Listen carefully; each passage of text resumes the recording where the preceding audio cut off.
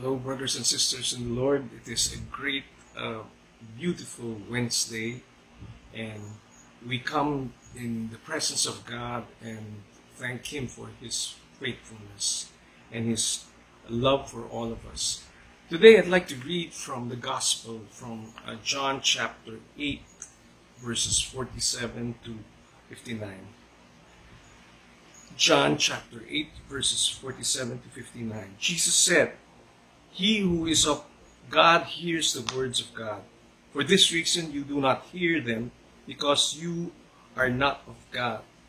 The Jews answered and said to him, Do we not say rightly that you are a Samaritan and have a demon? Jesus answered, I do not have a demon, but I honor my Father, and you dishonor me. But I do not seek my glory. There is one who seeks and judge. Truly, truly, I say to you, if anyone keeps my words, he will never see death. And the Jews said to him, Now we know that you have a demon. Abraham died, and the prophets also. And you say, If anyone keeps my words, he will never taste death. Surely you are not greater than our father Abraham, who, who died. The prophets died too. Whom do you make yourself out to be? Jesus answered, If I glorify myself, my glory is nothing. It is my Father who glorifies me, of whom I say, He is our God. And you have not come to know him, but I know him. And if I say that I do not know him, I will be a liar like you. But I do know him and keep his word. Your father Abraham rejoiced to see this day, and he saw it and was glad. So the Jews said to him, You are not fifty years old, and have you seen Abraham? And Jesus said to them, Truly, truly, I say to you, before Abraham was born, I am. Therefore he, they picked up stones to throw at him, but Jesus hid himself and went out of the temple. The Gospel of the Lord. Praise to you, Lord Jesus Christ. Truly, we can see here how Jesus nails the truth that truly He is God. He is deity. And to the to the to the Pharisees and to the religious leaders and even to the Jews at that time, it is of big horror to even um, make that claim. But Jesus was just speaking the truth, and everything that he did in life all uh, pointed towards that truth that he is of God. And actually, all of that pointed to the truth that he is the Son of God. And the beautiful thing here is that everything that Jesus did was bringing life to the people around him. It was giving health to the people who were sick. It was giving life to the dead sight to the blind, you know, um, everything that God, uh, healing the people.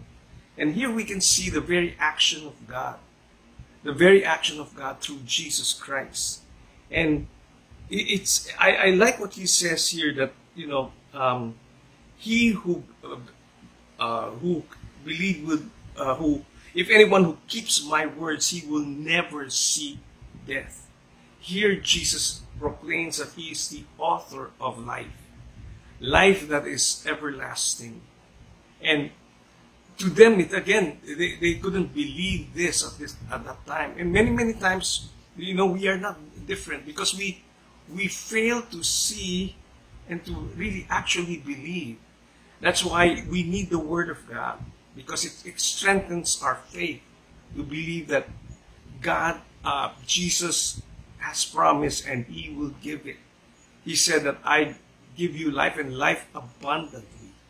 And that life is seen in everything in, in, in, in all our lives, in all aspects of our lives. It's manifested there. I like also what he said in the last part of the reading today. He said that, Truly, truly, I say to you, before Abraham was born, I am.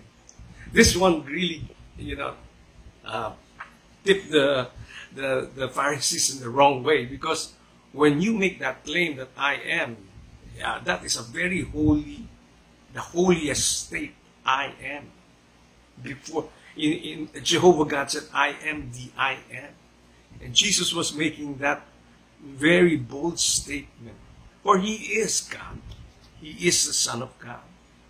Here in this gospel challenges all of us to truly believe in God. We, we go through in life and we find challenges, uh, we, we find ourselves uh, confronted with issues, whether it's health issues, financial issues, and uh, we hope to see a manifestation of God's power in these areas. But it takes faith. It takes faith and believing in Him. But how can we have faith if we are not in the Word of God? For faith comes only by hearing and hearing the Word of God. If we truly immerse ourselves with the Word and receive the sacraments, we will grow in our faith and believe Him. And um, we can see ourselves from one degree of glory to another. As we see the words, the Word of God says it's like a mirror. A mirror. The Word is like a mirror. You know, when we face a mirror, you, you, you conform to what you want the image of the mirror to display of you.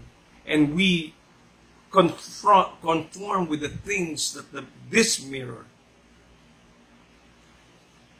is showing to us. We, we, we go from one degree of glory to another.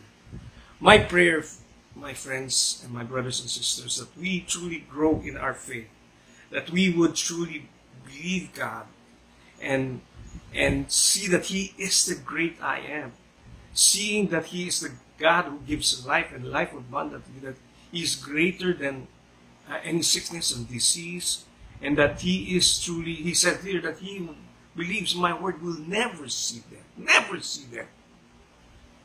Because He says that even though, you know, uh, the psalmist said that even though I go through the valley of it, I will fear no evil because you are with me.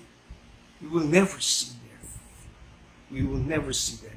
So, my prayer, brothers and sisters, as we come to truly believe Him, I pray and I encourage you, let us get immersed with the Word of God. Let us receive the sacrament, the Eucharist, go to confession, and, and be involved in these uh, means of grace to us, gifts God's gift to us. Again, thank you very much for this time of uh, sharing me. The gospel today challenge us to be unlike the unbelieving, but be believing and believe that Jesus is the Christ. In the name of the Father, the Son, and the Holy Spirit.